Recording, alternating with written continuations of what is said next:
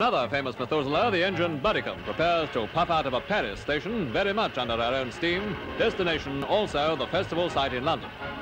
Built 108 years ago at Rouen by a British firm, Buddicom, with gleaming brasswork and a new coat of paint, takes on a new lease of life to bring pleasure to thousands this summer at Britain's great shop window on the South Bank.